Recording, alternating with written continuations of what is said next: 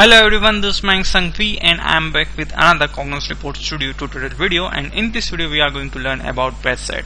Now, what is set, why to use it and how to use it. Set is used to divide your report content based on some condition on different report pages. So, for explaining this I am going to create a simple list and in this list I want to add closing inventory and then I want to add product line product let's say product type and product brand for the time being and drag and drop. Drag and drop. And this is our simple report in which it contains product line product type and product brand. I want to change the order of this. Let me quickly drag and drop it here and this is my product line product type product brand and closing inventory.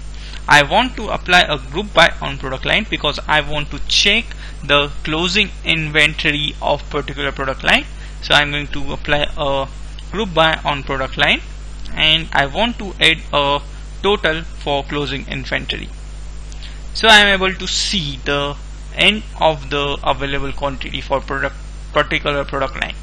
And it's time to run our report and right now if you are able to see I am able to okay so this is my report page and on the same page I am able to see the multiple product line related data. But what if I have a scenario where I want to split this data on multiple page?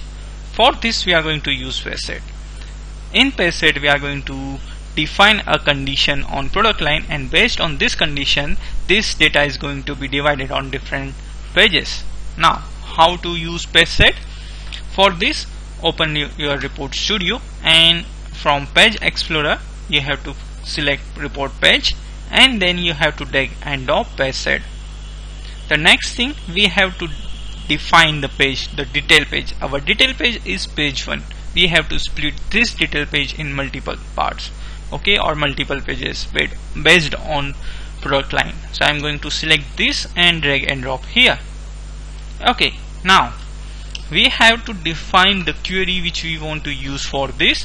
And for this we have to select our page set. And then from the property you have to select query 1 why query 1 because our query 1 is for our main page list. Okay our query one or right click and go to query.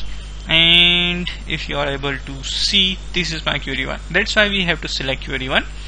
Next thing again go to report page and then select page set. And we have to select the grouping and sorting condition. We have to define and based on this grouping your data is going to be split on multiple pages and we want to split our data based on product line. We have to split our data based on product line. Right now you are able to see multiple product line related data on the same page. Okay. Now when you are going to drag and drop this product line into groups your data is going to be split based on product line. Okay. Let me click on ok and it's time to run our report once more and our report is generated successfully. Now our each page contains only a particular product line related data. And previously on my this or first page I am able to see multiple product line related data.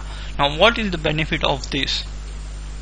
This is just all based on the client requirement or user requirement okay? And if you use if your user want to see or if your user want to split your data between multiple pages then you have to use page set so this is a basic use of page set and why to and how to use a page set in your report studio.